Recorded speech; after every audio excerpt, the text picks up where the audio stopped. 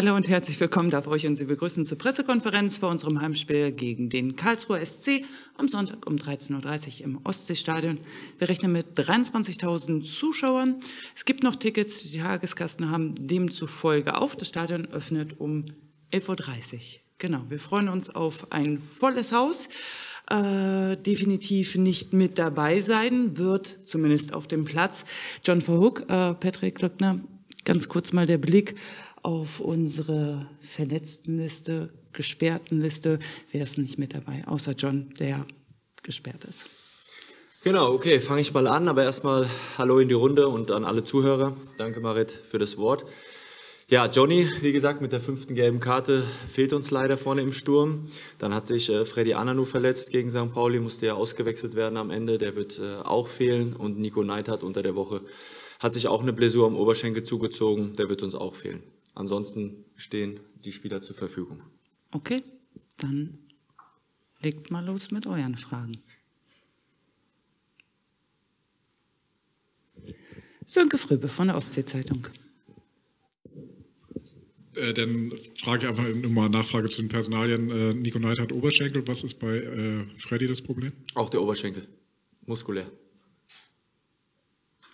Tommy Bastian von den NNN. Ja, wie bitter ist es, dass äh, Nico dann jetzt, wo Freddy ausfällt, dass dann auch Nico ausfällt, der ihn ja vielleicht hätte ersetzen können.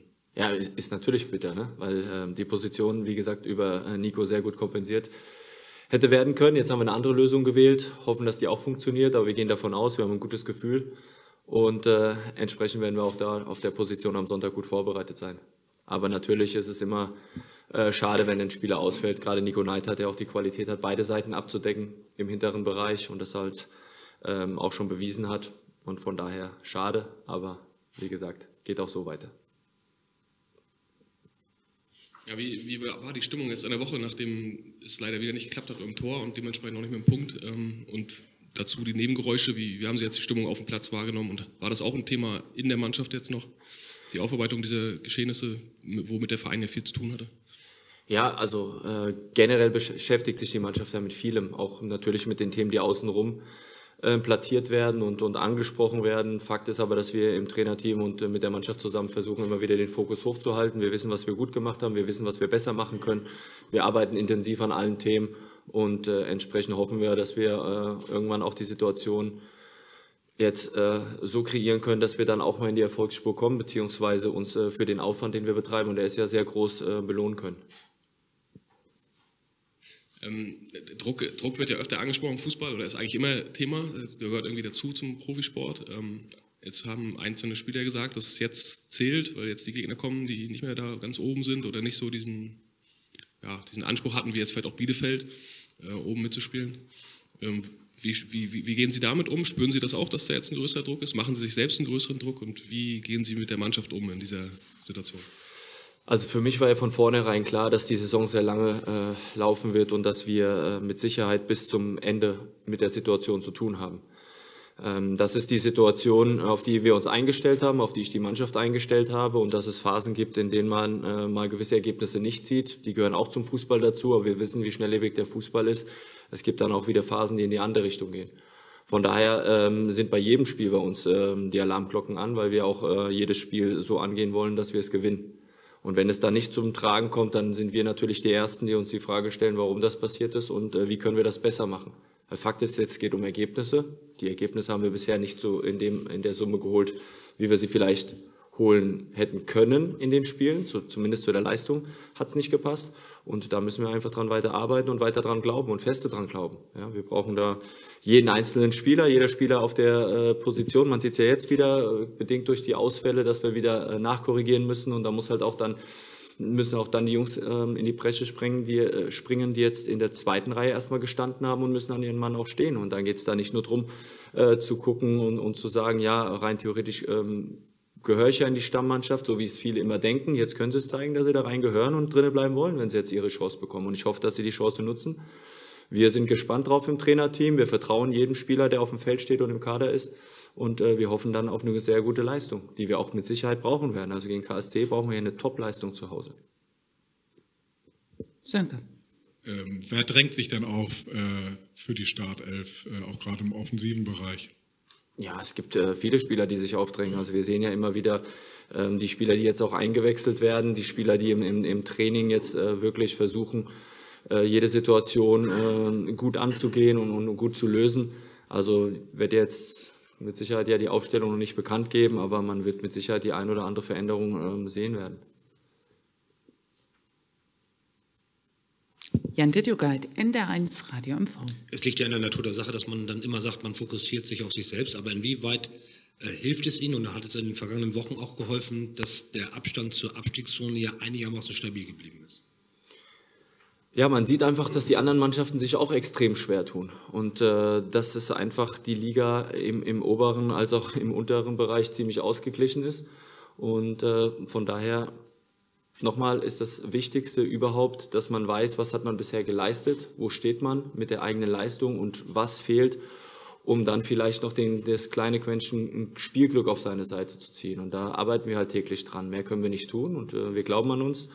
Wir sind eine tolle Mannschaft mit einem tollen Teamgedanken und ich glaube, ähm, dass das für uns im Vordergrund stehen muss. Es ist ja kein seltenes Phänomen im Fußball, dass wenn eine Mannschaft eine ganze Reihe von Spielen gemacht hat, wo man ordentlich, zum Teil sogar gut gespielt hat und trotzdem dann äh, wenig oder keine Punkte geholt hat, dass irgendwann dann eine Situation kommt, äh, wo sich ähm, das im Kopf so sehr verfestigt und man auch dann nicht mehr gut spielt. Sehen Sie die Gefahr auch und wenn ja, was kann man dagegen tun? Das kann immer passieren. Also wir sind alles nur Menschen. Die Jungs wollen, das ist klar. Wenn sie sich zu viel unter Druck setzen, dann wird es nicht klappen. Deswegen ist es wichtig, dass man fokussiert ist, aber die nötige Leichtigkeit trotzdem äh, bei sich behält. Und äh, wir als Trainer sind da halt auch dann als Psychologen gefragt und werden da unsere verschiedenen ähm, Register ziehen, äh, wie wir die Spieler begleiten können und quasi immer äh, so aufstellen, dass sie mit dem möglichst höchsten Selbstvertrauen spielen können. Haben Sie da dann jetzt schon irgendwelche Register gezogen oder Ach, wir sind immer dabei. ja, wir sind immer dabei. Klar, wenn, wenn die Offensive äh, jetzt keine Tore geschossen hat oder ein Tor in, in, in fünf Spielen, dann ist das zu wenig. Und da müssen wir natürlich dran arbeiten. Und dann versuchen wir natürlich gewisse äh, Spielsituationen im Training zu simulieren, äh, die dann ähm, des Öfteren als Automatismus zum Tragen kommen sollen oder beziehungsweise viele einfache Torabschlüsse zu generieren, dass man einfach mal wieder ein Erfolgserlebnis hat. Ja, man zeigt gewisse Szenen, man redet mit dem einen oder anderen Spieler ja, aber trotzdem immer in, in einem Verhältnis, dass man sie nicht unter Druck setzt, sondern dass man sie fördert, quasi ihren Fokus so aufzubauen, dass sie wissen, was sie zu tun haben und dass sie auch ihre Stärken auf jeden Fall noch ähm, weiter beibehalten und die auch auf den Platz bringen.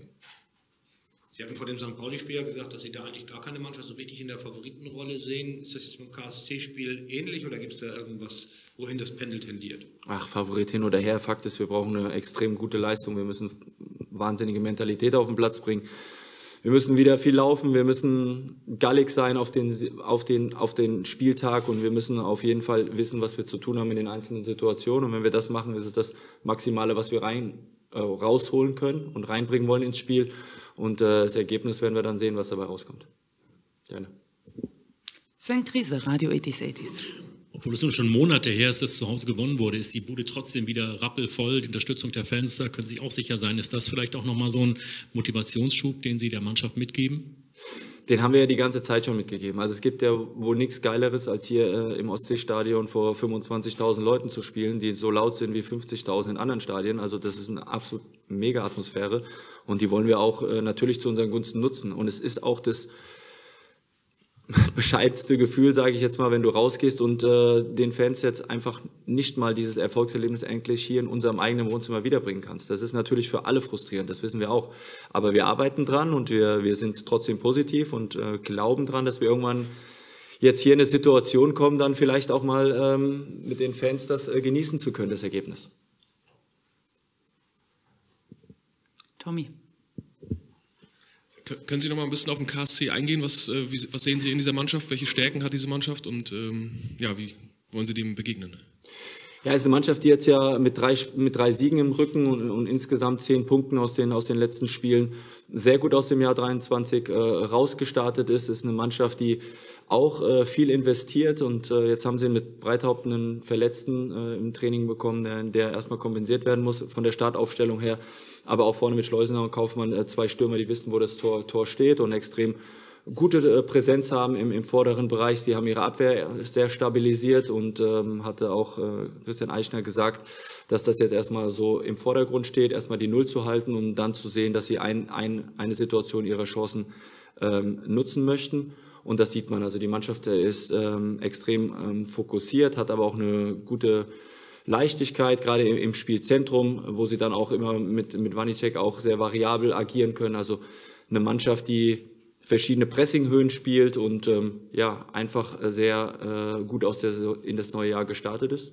Und äh, wie ich es eingangs gesagt ha hatte, also wir wissen, was wir hoffentlich dagegen zu tun haben. Und da geht es dann halt erstmal wirklich um da in diesen Bereichen Mentalität, Laufleistung, stabile Abwehr, ähm, Leistung mitzuhalten, um dann in unseren äh, ähm, Spielfluss zu kommen, wo wir dann sagen, wir haben ja auch immer unsere Umschaltmomente im Spiel oder Standardsituationen, wo wir dann auch einfach mal gefährlicher werden wollen und dann natürlich auch die ein oder andere Torchance nutzen möchten wollen wir nicht viel verraten, kann das auch verstehen. Ähm, trotzdem, äh, welche Optionen gibt es äh, für, für Johnny jetzt? Ähm, ist Zwante die einzige und steht das fest, dass er spielt oder haben Sie da noch offene Überlegungen?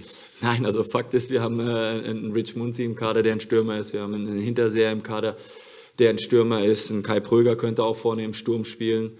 Ja, auch ein Nisse haben wir äh, mal unter der Woche äh, im Sturm ausprobiert, der hat es auch gut gemacht. Ja. Und äh, jetzt muss man halt gucken, ähm, wer dann am Sonntag äh, wirklich äh, vom, auch vom Matchplan jetzt gesehen am besten passen könnte. Generell ist Swante natürlich auch eine Alternative, die er hier schon gezeigt hat ähm, gegen Darmstadt. Da ging es dann aber eher um Tiefenläufe, um zu gucken, dass wir hinten reinkommen gegen eine höher stehende Abwehr. Deswegen ähm, können wir da noch nicht zu viel von verraten. Aber Fakt ist, wir haben noch zwei Stürmer im, im, im Kader, die mit Sicherheit äh, nur auf ihre Chance warten und darauf auch brennen. Adrian Witwer von der Bild-Zeitung. Stichwort äh, Spielglück, was es äh, vielleicht zu erzwingen äh, gilt. Äh, was kann man denn tun, äh, damit äh, die, ja, die, diese Kleinigkeit im Vergleich gegen St. Pauli oder Darmstadt, wo ja ein Torunterschied jetzt war, dass das eben so kippt? Ist es wirklich Bilder zeigen? Ist es gut zureden oder, oder was ist diese kleine Stellschraube, damit man selbst ein Tor schießt und möglichst sogar das erste? Ja, die, die Antwort ist eigentlich ganz einfach. Es ist ehrliche Arbeit von A bis Z. Also wirklich äh, alles zu investieren äh, und viel dem Fußball unterzuordnen. Und ich glaube, wenn du diese Mentalität hast in jeder Trainingseinheit, an jedem Spieltag, ähm, gegen jeden Gegner, zu 100 Prozent an dich, an die Mannschaft und an das Spiel glaubst, dann äh, wird das äh, zwangsläufig passieren. Und das ist unser Ansatz, den wir haben. Also es geht jetzt gar nicht darum, die Bilder und alles zu zeigen. Das gehört zum Fußball dazu. Das macht auch jeder Trainer. Ähm, das ist jetzt nichts, ist jetzt kein Hexenwerk, aber das Entscheidende ist immer, dass man sagt, äh, wie felsenfest äh, ist die Mannschaft in sich selbst und möchte das unbedingt erzwingen. Und da ist es dann halt auch manchmal an der, an der Zeit oder die Frage, wie lange man im Spiel braucht, um zu warten. Wenn man jetzt mal die erste oder die zweite Chance nicht nutzt, dass man dann sagt, wir haben aber die Geduld und warten dann halt auf die 90., 92. Minute, wenn sie kommt und sind dann immer noch konzentriert. Punkt eins gegen den Ball und Punkt zwei, wenn sich die Situation ergibt, dann egal wie und wenn es mit dem Rücken ist, wie wir es ja auch bei Brand schon gesehen haben, in Dortmund den Ball dann da reinmacht und dann gewinnst du das Ding 1-0 oder was auch immer und äh, hast bis zum Ende dran geglaubt und das ist das, ähm, was wir versuchen, also oder wie wir versuchen, diese Ergebnisse auf unsere Seite zu ziehen. Aber heißt es jetzt im Vergleich zu St. Pauli, kann man da noch einen draufsetzen? Jetzt auch von der Intensität, weil ich denke mal, die Ansprache vor so einem Spiel äh, in Hamburg wird ja auch gewesen sein, alles investieren und alles raushauen. Also kann man jetzt gegen Karlsruhe nochmal einen Top draufsetzen? Ne, weil, äh, also die Ansprache, wir sind immer auf 100 Prozent und immer unter Strom. Und ähm, das wird jetzt auch genauso gegen KSC sein. Also wir werden das Spiel jetzt von, de von dem her nicht anders angehen, beziehungsweise ähm, haben wir ja sowieso immer andere Muster in den Ansprachen. Und dann ist es... Äh, einfach nur für die Spieler entscheidend, dass sie um Punkt die Uhrzeit, wann das Spiel angesetzt ist, gegen den Gegner auch da sind. Und äh, St. Pauli kann man ja nicht viel vorwerfen. Also wir haben zwei Torschancen zugelassen, wir haben äh, vier mit Standards fünf, fünf Torschancen rausgespielt.